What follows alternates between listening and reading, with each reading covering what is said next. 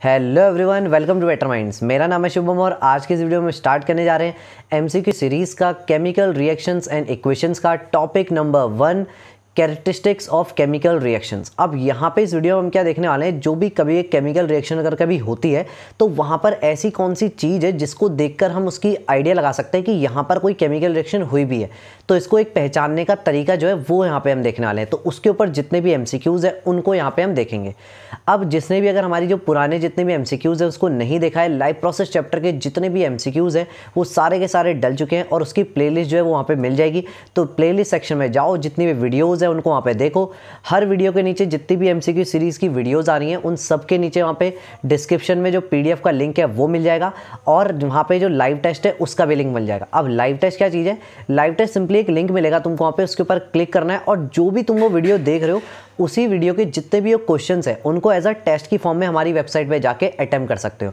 और जितनी वीडियोस बन गई हैं, वो तो बनी गई है। ऑलरेडी वैसे भी वेबसाइट के ऊपर जाके www.bettermentclasses.com के ऊपर जाके और वहाँ पर जितनी भी हमारी जो बाकी जो टेस्ट सीरीज़ है, उसको भी अटैम्प कर सकते तो वेबसाइट के प्रमोशन के बाद शुरू करते हैं हमारी आज की वीडियो को। अब क्वेश्चन नंबर वन हमारे पास यहाँ पे आता है कि which of the following is correct about chemical reaction जो केमिकल रिएक्शंस होती है, उनके बारे में इन सब में से कौन सी जो बात है, वो यहाँ पर सही है।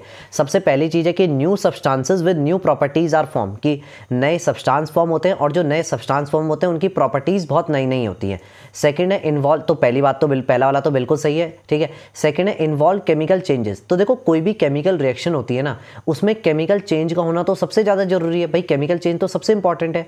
फिर आता है नेक्स्ट हमारा C option rearrangement of atom take place अब एक्चुअल में जब भी कोई केमिकल रिएक्शंस होती है तो कोई भी दो अगर हम यहाँ पे रिएक्टेंट को मिक्स कर रहे हैं तो दो रिएक्टेंट को मिक्स करने पे एक्चुअल में कोई नया कोई एटम नहीं बन जाएगा वहाँ पे। उन्हीं एटम्स का रीअरेंजमेंट हो जाएगा कुछ इस तरीके से कि अलग ही एक नया मॉलिक्यूल या नया कोई कंपाउंड जो है, वो हमको वहाँ पर मिल जाएगा। तो सी ऑप्शन भी बिल्कुल करेक्ट है। तो यानी कि हमारा जो करेक्ट आंसर होगा, वो हमारा यहाँ पर हो जाएगा ऑप्शन नंबर डी यानी कि ऑल ऑफ़ द अबव अब आते हैं हम क्वेश्चन नंबर टू के ऊपर यहाँ पे।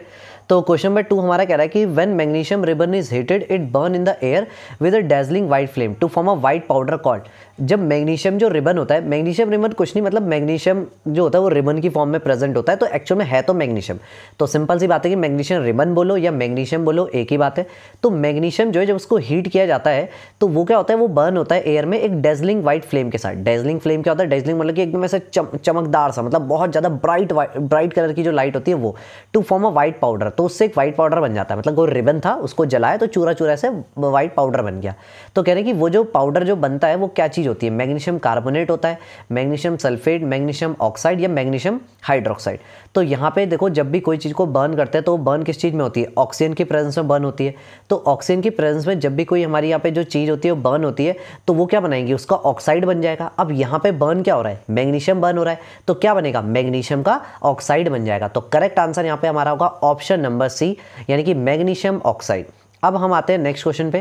क्वेश्चन नंबर थ्री कह रहा है कि when magnesium react with oxygen it form magnesium oxide कि भाई जब मैग्नीशियम ऑक्सीजन के साथ रिएक्ट करता है तो मैग्नीशियम ऑक्साइड बनाता है। तो ये तो हमने पिछले क्वेश्चन में देखा। तो which of the following statement is incorrect तो इन सब में से कौन सी जो बात है, वो यहाँ पर सही है? पहली बात है it burn with dazzling white flame तो बिल्कुल सही है तो हमने पीछे भी देखा था। जब भी मैग्नीशियम रिबन को बर्न करते हैं मैग्नीशियम को बर्न करते हैं तो डेजलिंग व्हाइट फ्लेम आती है। डेजलिंग मतलब कि एकदम बहुत ज़्यादा ब्राइट व्हाइट कलर की फ्लेम आती है। आँखें चंदिया जाएँगी मतलब ऐसी फ्लेम आ रही है। ठीक है? ऑप्शन नंबर टू है it forms a white powder ये एक व्हाइट कलर व्हाइट कलर का पाउडर फॉर्म करता है। तो बिल्कुल, अभी मैंने पिछले क्वेश्चन में बताया था, जब उसको बर्न करते तो व्हाइट कलर का एक पाउडर फॉर्म होगा। फिर है properties of product are same as of reactant अब इसको देखते हैं डी वाला ऑप्शन पहले देखते हैं। अब है this is an example of chemical change तो देखो, ये केमिकल रिएक्शन है। तो केमिकल रिएक्शन तो एग्ज़ाम्पल ही होता है केमिकल चेंज का। केमिकल रिएक्शन तो हुई इसीलिए रही क्योंकि कोई केमिकल चेंज हो रहा होगा तो डी ऑप्शन तो सही है। तो सी ऑप्शन हमारा यहाँ पे गलत हो जाएगा। सी ऑप्शन क्या कह रहा है? Properties of product are same as of reactant मतलब ये कह रहा है कि जो प्रोडक्ट फॉर्म हुआ प्रोडक्ट क्या फॉर्म होगा? मैग्नीशियम और ऑक्सीजन को मिला के। मैग्नीशियम ऑक्साइड वहाँ पे फॉर्म होगा।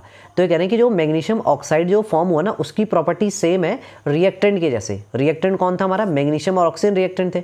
तो बिल्कुल भी नहीं मैग्नीशियम और ऑक्सीजन की प्रॉपर्टीज़ अलग है और जो फाइनल जो हमारा प्रोडक्ट बना है मैग्नीशियम ऑक्साइड उसकी प्रॉपर्टीज़ अलग है। तो यानी कि ऑप्शन नंबर सी यहाँ पे जो होगा, वो यहाँ पे गलत स्टेटमेंट है तो यहाँ पे हमारा करेक्ट आंसर वही है। अब आते हैं क्वेश्चन नंबर फोर के ऊपर यहाँ पे।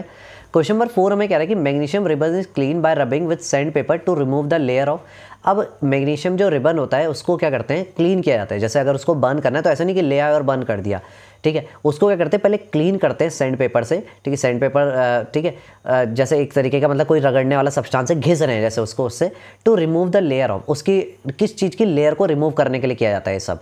मैग्नीशियम सल्फाइड की मैग्नीशियम ऑक्साइड की मैग्नीशियम हाइड्रोक्साइड की मैग्नीशियम सल्फेट की तो किस चीज़ की लेयर अब यहाँ पे देखो होता क्या है, जब मैग्नीशियम कोई भी मेटल जो होता है, वो हमारा अगर ये जितने भी हम मेटल की बात कर रहे हैं, ये मेटल कैसे होते हैं? मेटल बहुत रिएक्टिव होते हैं। अब मेटल मैग्नीशियम हमारा कहीं पे भी रखा हुआ होगा तो एयर के कांटेक्ट में होगा वो।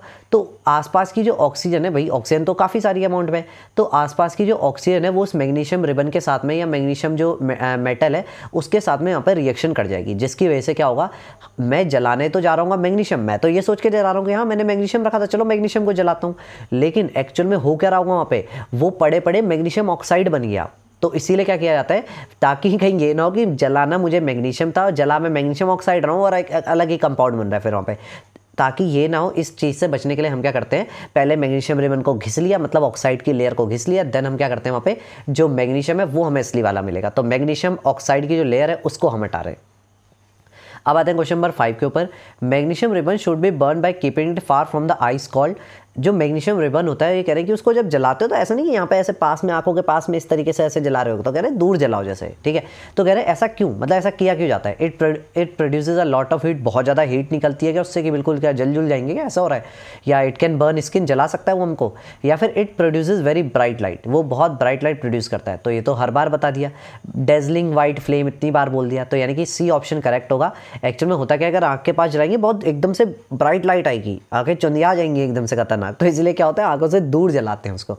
तो ऑप्शन नंबर जो सी है, वो हमारे यहाँ पे करेक्ट आंसर हो जाएगा। अब आते हैं क्वेश्चन नंबर सिक्स के ऊपर। Which of the following is not a chemical change इन सब में से कौन सा केमिकल चेंज नहीं है? Souring of milk souring of milk जैसे वो नहीं होता घर में दूध फट जाता है है ना, वैसे। तो सेकंड हमारा कुकिंग ऑफ़ फ़ूड खाने को पकाना रस्टिंग ऑफ़ आयरन लोहे पे जंक लगना, ये सब चीज़। देखो केमिकल चेंज क्या होता है ना, दो टाइप के चेंज होते हैं। एक हुआ केमिकल चेंज एक है फ़िज़िकल चेंज केमिकल चेंज वो चेंज होता है, जिसको हम रिवर्स नहीं कर सकते। नॉर्मल किसी फ़िज़िकल मेथड को लगा के मैं रिवर्स नहीं कर सकता उसको। एक बार हो गया तो हो गया, ठीक है। अब फ़िज़िकल चेंज क्या होता है? फ़िज़िकल चेंज में क्या होता है कि तुम उसको रिवर्स कर सकते हो। ठीक है, ये चीज़ है। अब देखते हैं सोरिंग ऑफ़ फिल दूध एक बार फट गया तो वापस दूध तो नहीं बना सकते। भाई, अगर बना सकते तो बिल्कुल बनाते फिर तो है ना? क्यों नहीं बनाते? पर नहीं बना सकते ना, इसीलिए नहीं बनाते हैं। फिर कुकिंग ऑफ़ फ़ूड खाना एक बार पका दिया, उसको वापस सब्ज़ी तो नहीं बना सकते, उसकी कच्ची वाली नहीं बना सकते। रस्टिंग ऑफ़ आयरन लोहे में जंग लग गया, अब दोबारा वापस नहीं ला सकते। हाँ पेंट कर लोगे, कुछ कर लोगे बट वापस नहीं ला सकते उसको, उसकी ओरिजिनल स्टेट में। फिर है मेल्टिंग ऑफ़ आइस बर्फ़ का पिघलना। भाई, बर्फ़ एक बार पिघल गई, पानी बन गया तो पानी से वापस दोबारा बर्फ़ बना लेंगे, क्या दिक्कत है? फ्रिज में जमा देंगे बर्फ़ को। तो यानी कि ऑप्शन नंबर डी जो है, वो हमारा करेक्ट आंसर है, वो कोई केमिकल चेंज नहीं है क्योंकि। अब आते हैं क्वेश्चन नंबर सेवन के ऊपर। Which gas evolve when zinc react with sulphuric acid zinc जो है, वो जब सल्फरिक एसिड के साथ रिएक्ट करता है, पहले तो जिंक क्या हो? जिंक जेड एन एन हमारा जिंक होता है। सल्फरिक एसिड का फॉर्मूला है H two S O four zinc जब H2SO4 के साथ रिएक्शन करता है ना, अब ये थोड़ा आगे जाके जब तुम मेटल नॉन मेटल ये सब जब हम पढ़ रहे होंगे तो वहाँ पे रिएक्शन पढ़ोगे। मेटल की रिएक्शन एसिड के साथ में। तो मेटल जब भी एसिड के साथ रिएक्शन करता है तो हाइड्रोजन गैस को लिबरेट करता है। तो इसको ऐसे भी याद कर सकते हो, खैर अभी आगे वाले चैप्टर में आ ही जाएगा। बट मैं अभी भी तुमको यहाँ पर बता रहा हूँ कि ये ध्यान रखना कि मेटल जब भी एसिड के साथ, यानी कि सल्फरिक एसिड के साथ रिएक्ट करे, चाहे किसी के भी साथ, कोई भी एसिड के साथ रिएक्शन करे तो वो वहाँ पर क्या निकालता है हमारा हाइड्रोजन गैस को लिबरेट करता है। तो यहाँ पर करेक्ट आंसर क्या हो जाएगा हमारा? ऑप्शन नंबर बी, यानी कि हाइड्रोजन अब आते हैं क्वेश्चन नंबर एट के ऊपर. Which of the following reaction is characterise by evolution of gas ये कह रहे हैं इन सब में से, देखो, कुछ ना हर केमिकल रिएक्शन की मतलब जितनी भी केमिकल रिएक्शंस होती हैं, उनकी कुछ ना कुछ कैरेक्टरिस्टिक्स होती है, कुछ पहचान होती है। या तो वो उनसे वहाँ पे गैस निकल रही होगी, या तो उनका टेम्परेचर बढ़ रहा हो मतलब कुछ ऐसी चीज़ें हैं जो अभी साथ साथ में बताता रहूँगा। तो यहाँ पर क्या है, सबसे पहले कह रहे हैं एक कैरेक्टरिस्टिक है इवोल्यूशन ऑफ़ गैस मतलब किसी भी चीज़ में अगर गैस निकली है, कोई बाहर लिबरेट हुई है, इसका मतलब वहाँ पर पक्का कोई केमिकल रिएक्शन हुई है। तो कह रहे हैं, इन सब में से कौन उसका एग्ज़ाम्पल है? Zinc with sulphuric acid hydrogen with oxygen अब देखो हाइड्रोजन जब ऑक्सीजन के साथ मिलेगा हाइड्रोजन प्लस ऑक्सीजन मिलकर बनता है वाटर तो कोई गैस तो निकली नहीं भाई. थर्ड ऑप्शन है potassium iodide with lead nitrate potassium iodide जब लेड नाइट्रेट के साथ मिक्स होता है तो ये भी क्या करते हैं, एक तरीके का प्रेस्प्रेड फॉर्म करते हैं। तो ये भी इन्होंने भी मतलब गैस तो नहीं बनाई इन्होंने भी ना। फिर है sulphur dioxide with potassium permanganate अब ये मत देख लेना कि सल्फ़र डाइऑक्साइड वो उन्होंने बोला सल्फ़र डाइऑक्साइड तो रिएक्टेंट है। वो कह रहे हैं प्रोडक्ट प्रोडक्ट की बात कर रहे हैं। तो सल्फ़र डाइऑक्साइड पोटेशियम परमागेनेट के साथ मिक्स होकर वो तो उसका कलर चेंज करता है तो वो भी नहीं होगा। तो यहाँ पर करेक्ट आंसर है option number A zinc with sulphuric acid याद है, अभी बताया था हाइड्रोजन गैस निकलती है उसमें। तो यहाँ पे क्या है हाइड्रोजन गैस के निकलने से ही तो मुझे कैरेक्टरिस्टिक का पता लग रहा है, उसका पता लग रहा है कि ये कोई केमिकल रिएक्शन है, यानी कि ऑप्शन नंबर एक करेक्ट आंसर है। अब आते हैं क्वेश्चन नंबर नाइन के ऊपर हमारा यहाँ पे।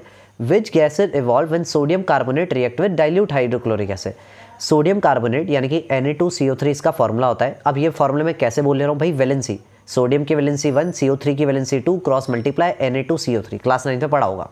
सोडियम कार्बोनेट Na2CO3 जो है, जब वो रिएक्ट करता है डाइल्यूट हाइड्रोक्लोरिक एसिड के साथ में तो कह रहे हैं कि कौन सी गैस जो है, वो लिबरेट होती है। अब एक चीज़ याद रखना मेटल कार्बोनेट या मेटल हाइड्रोजन कार्बोनेट ये सोडियम कार्बोनेट क्या है? मेटल का कार्बोनेट है, सोडियम मेटल है। मेटल कार्बोनेट या मेटल हाइड्रोजन कार्बोनेट जब भी किसी एसिड के साथ में रिएक्शन करते हैं तो ये कार्बन डाइऑक्साइड गैस ज़रूर निकालते हैं। तो यानी कि यहाँ पे ऑप्शन जो है सी जो है, हमारा करेक्ट आंसर होगा कार्बन डाइऑक्साइड गैस। अब आते हैं क्वेश्चन नंबर टेन के ऊपर। Which of the following reactions are characterise by evolution of gas इनमें एक और फिर से पूछ रहे हैं कि इनमें से कौन सा जो है, किसमें जो है गैस निकलती है? Sulphuric acid with barium chloride या sodium carbonate with hydrochloric acid तो ये अभी बताया मैंने सोडियम कार्बोनेट हाइड्रोक्लोरिक एसिड के साथ मिलकर क्या बनाता है हमारा? कार्बन डाइऑक्साइड बनाता है तो यानी कि गैस तो निकल रही है ना कोई सी भी निकले तो ऑप्शन नंबर बी जो है वो करेक्ट आंसर होगा। अब आते हैं हम क्वेश्चन नंबर इलेवन के ऊपर। अ प्रेस्प्रेट इज़ अ एक जो प्रेस्प्रेट होता है हमारा, वो क्या होता है हमारा? एक सॉलिबल सॉलिड होता है वाइट कलर्ड सब्सटेंस होता है, ठीक है? कलर की स्पेलिंग थोड़ी गलत हो गई, ठीक है? नेक्स्ट है डेजलिंग फ्लेम या फिर इनसॉलिबल सॉलिड तो क्या चीज़ होता है? तो देखो प्रेसप्रेड क्या होता है ना, कोई मैंने दो, कोई एक लिक्विड थे, ये एक लिक्विड और एक लिक्विड था हमारे पास, मैंने उन दोनों को मिलाया।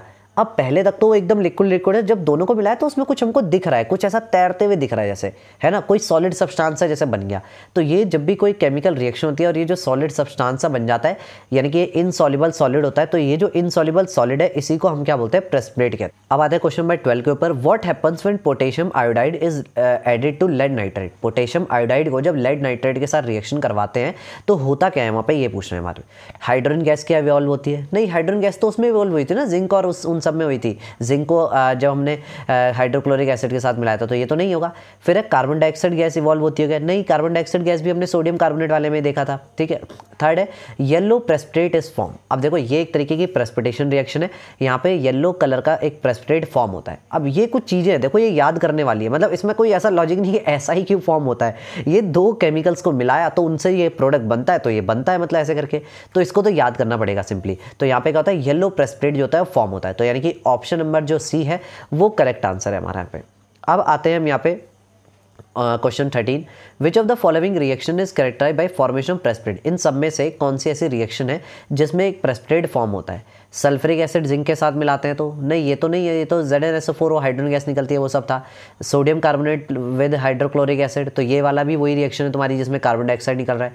Potassium iodide with lead nitrate अभी तो आया था question potassium iodide lead nitrate वाला। तो पोटेशियम आयोडाइड जब लेड नाइट्रेट के साथ मिक्स होता है तो यहाँ पे बनता है एक प्रेस्प्रेट तभी तो येलो कलर आया था। इसका प्रेस्प्रेट जब फॉर्म हुआ था देखो, जब कोई चीज़ घुल जाएगी तो उसका फिर कलर ही क्यों दिखेगा? कलर दिख रहा है क्योंकि कोई चीज़ घुली नहीं है पक्का, है ना? इस वजह से कलर दिख रहा है उसका। तो इसीलिए हमारा करेक्ट आंसर जो हो जाएगा प्रेस्प्रेट वाला, वो हमारा हो जाएगा option number C correct answer अब आते हैं क्वेश्चन नंबर फोर्टीन के ऊपर। What happens when sulphuric acid react with barium chloride sulphuric acid की रिएक्शन बेरियम क्लोराइड के साथ हमने कराई। तो व्हाइट कलर का प्रेस्प्रेट फॉर्म होगा या कार्बन डाइऑक्साइड गैस इवॉल्व होगी। तो इसका करेक्ट आंसर है white precipitate is form again ये भी याद करने वाला क्वेश्चन है व्हाइट प्रेस्परेट एक जो है वो हमारे यहाँ पे फॉर्म हो जाएगा। तो जैसे बेरियम क्लोराइड है हमारा तो बेरियम सल्फेट वहाँ पे बन जाएगा। तो ऑप्शन नंबर ए जो है वो करेक्ट आंसर होगा। अब आते हैं क्वेश्चन नंबर 15 के ऊपर। Which of the following reaction is characterise by formation of precipitate इनमें से कौन सी जो केमिकल रिएक्शन है, उसमें प्रेस्प्रेट फॉर्म होता है, ठीक है? तो यहाँ पे अगेन वही option number A correct answer है, पिछला वाला क्वेश्चन के जैसा ही है, क्योंकि वो सेम वही है। Sulphuric acid with barium chloride अब ये क्वेश्चन ऐसे इसलिए डाल रखे हैं बार बार एक के बाद एक, क्योंकि ताकि याद हो जाए तुमको। ये रिएक्शन याद होनी चाहिए, इनमें कुछ ऐसा लॉजिक वगैरह, ऐसा कुछ नहीं। अब ये याद करनी है तो याद करने वाली चीज़ है, ठीक है?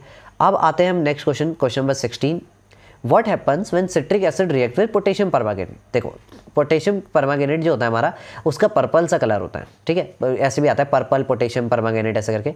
तो ये कह रहे हैं कि सिट्रिक एसिड जब उसमें मिलाते हैं तो होता क्या है? तो देखो, जब सिट्रिक एसिड को पोटेशियम परमागेनेट में मिलाते हैं ना तो पोटेशियम परमागेनेट का कलर ही गायब हो जाता है। एकदम कलरलेस गायब, ठीक है? यानी कि हुआ क्या इन सब में से? इवोल्यूशन ऑफ़ गैस क्या? गैस निकली। फॉर्मेशन ऑफ़ प्रेस्प्रेट हुआ क्या? या चेंज इन कलर हुआ है चेंज इन स्टेट हुआ? तो यहाँ पे हुआ चेंज इन कलर है ना? तो यहाँ पे ऑप्शन नंबर सी जो है वो करेक्ट आंसर है। अब आते हैं क्वेश्चन नंबर सेवनटीन के ऊपर। What happens when sulphur dioxide react with potassium dichromate sulphur dioxide जब पोटेशियम डाइक्रोमेट के साथ में जब मिक्स होता है तो उस टाइम पे क्या करता है? कलर को चेंज कलर चेंज होता है क्या? तो simply option number A correct answer है। यहाँ पे क्या होता है? जो कलर है वो हमारा ऑरेंज से वहाँ पे ग्रीन हो जाता है। तो यानी कि चेंज इन कलर हो जाता है यहाँ पे। Option number A correct answer अब आते हैं हम क्वेश्चन नंबर एटीन के ऊपर। Which of the following reaction character by change in colour ये चार यहाँ पे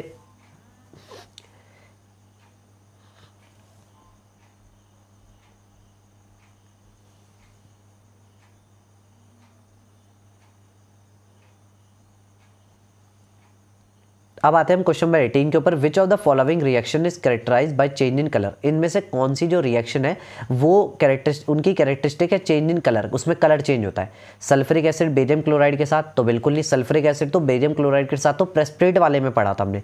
Sodium carbonate with hydrochloric acid तो ये भी नहीं सोडियम क्लोराइड हाइड्रोक्लोरिक एसिड के साथ तो हमने पढ़ा था कि जब, याद है मेटल कार्बोनेट प्लस एसिड मिलकर कार्बन डाइऑक्साइड गैस देंगे वो हमको, वो तो अलग हो गया फिर। सल्फरिक एसिड विद जिंक, ये तो हाइड्रोजन गैस वाला मेटल प्लस एसिड हमको हाइड्रोजन गैस देता है। Sulphur dioxide with potassium permanganate अभी तो बताया ऑरेंज से ग्रीन कलर होने वाला। यानी कि जो ऑप्शन नंबर डी है, वो हमारा करेक्ट आंसर होगा। यानी कि यहाँ पे इसकी करेक्टरिस्टिक है कलर को चेंज करना। अब आते हैं क्वेश्चन नंबर 19 के ऊपर। Calcium oxide is also known as. Calcium oxide जो हमारा होता है, फॉर्मूला इसका होता है सी ए ओ क्यों? कैल्शियम की वैलेंसी टू, ऑक्सीजन की वैलेंसी टू टू से टू कटा सी ए ओ आ गया बस। वन वन मल्टीप्लाई होगा दोनों में बस।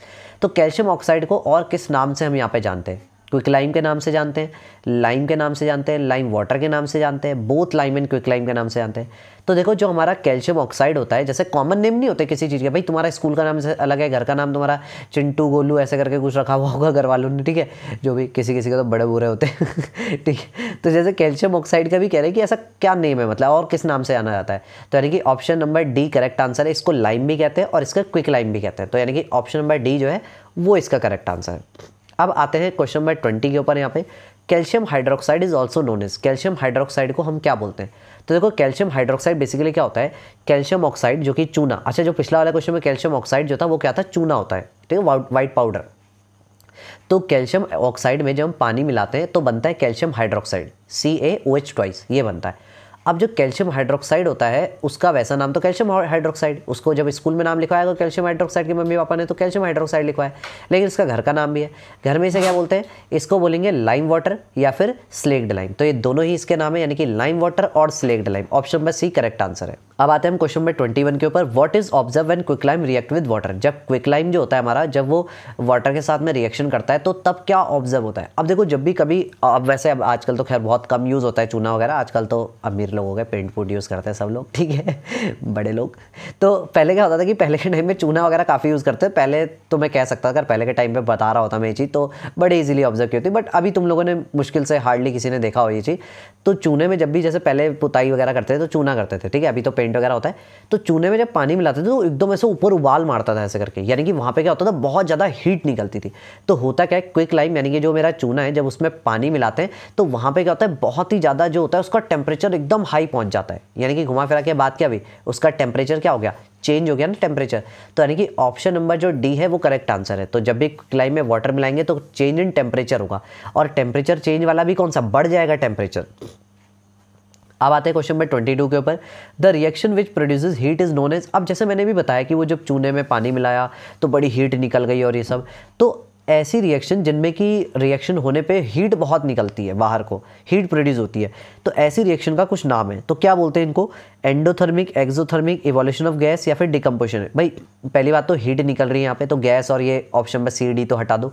अब एंडोथर्मिक एक्जोथर्मिक एक्जोथर्मिक क्या होता है? एक्जो एग्जिट भाई एग्जिट क्या होता है? एग्जिट बाहर, है ना? तो एक्सोथर्मिक रिएक्शन यानी कि यहाँ पे करेक्ट जो आंसर होगा, वो हमारा हो जाएगा ऑप्शन नंबर बी यानी कि एक्सोथर्मिक रिएक्शन अब आते हैं क्वेश्चन नंबर ट्वेंटी थ्री के ऊपर कि what is observe and barium hydroxide react with ammonium chloride barium hydroxide जब अमोनियम क्लोराइड के साथ में रिएक्शन करता है तो उस टाइम पे क्या चीज़ ऑब्ज़र्व होती है? अब देखो, ये बहुत ही one of the rare one of the rare भी नहीं कहूँगा पर मतलब ऐसी रिएक्शंस कम होती है, जिनमें कि दो चीज़ को मिलाया और उनका जो टेम्परेचर है वो एकदम कम हो गया। मतलब ऐसा समझो, तुमने दो केमिकल को मिलाया और टेस्ट ट्यूब को नीचे से पकड़ा और ठंडा ठंडा लग रहा है कि टेस्ट ट्यूब वैसे ठंडी ठंडी सी लग रही है। यानी कि टेम्परेचर डाउन हो गया। अभी तक पिछले वाले में हमने क्या देखा टेम्परेचर राइज हो गया था, गर्म हो गया था वो। लेकिन अब की बार क्या हुआ? फॉल इन टेम्परेचर तो ये एग्ज़ाम्पल है हमारा फॉल इन टेम्परेचर का। टेम्परेचर में फॉल आ गया। अब आते हैं क्वेश्चन नंबर ट्वेंटी फोर के ऊपर। और reaction which absorb heat is known as अब देखो, ऐसी रिएक्शन जिसमें हीट बाहर निकले, वो तो एक्जोथर्मिक रिएक्शन लेकिन ऐसी रिएक्शन का क्या? जो हीट को एब्जॉर्ब कर ले। वो जो टेस्ट ट्यूब पिछले वाले क्वेश्चन नंबर ट्वेंटी थ्री में जो मैंने बोला टेस्ट ट्यूब ठंडी हो गई। ठंडी कैसे हो गई? भाई उसने क्या कर लिया? उसने जितनी भी जो हीट थी वो क्या कर लिया वहाँ पे? हीट को एब्जॉर्ब कर लिया मतलब कि आसपास की, ठीक है, ये चीज़। तो यानी कि यहाँ पे ये कौन सी रिएक्शन है? इसको हम बोलते हैं एंडोथर्मिक रिएक्शन यानी कि ऑप्शन नंबर ए जो है, वो करेक्ट आंसर होगा। अब आते हैं हमारे आखिरी क्वेश्चन पे question number 25 which of the following reaction is characterize by change in state तो यहाँ पे ऐसी कौन सी रिएक्शन है जो कि हमारा क्या होता है? चेंज इन स्टेट को शो करती है। तो यहाँ पे हमको चार ऑप्शन दे रखे हैं यहाँ पे। अब देखो, इतने सारे क्वेश्चन मैंने बता दिया, पूरा का पूरा अच्छे से एक्सप्लेन किया है। तो अब इस क्वेश्चन का आंसर मुझे करो कमेंट सेक्शन में। जिसका भी आंसर सही होगा, उसको मैं यहाँ पे हर्ट दे दूँगा तो आइडिया लग जाएगा वहाँ पे कि किसका आंसर करेक्ट है। So this is the end of this video I hope कि यहाँ पे जितने भी एम है, बहुत ही अच्छे से यहाँ पे समझ में आएँगे अगर फिर भी इस वीडियो से रिलेटेड कोई भी डाउट है या फिर चैनल से रिलेटेड कोई भी सजेशन है तो उसको यूट्यूब के कॉमेंट सेक्शन में या फिर इंस्टाग्राम पर मैसेज करके बता सकते हो। तो चलो मिलते हैं फिर नेक्स्ट वीडियो में, तब तक के लिए पढ़ाई करते रहो और मज़े करते रहो।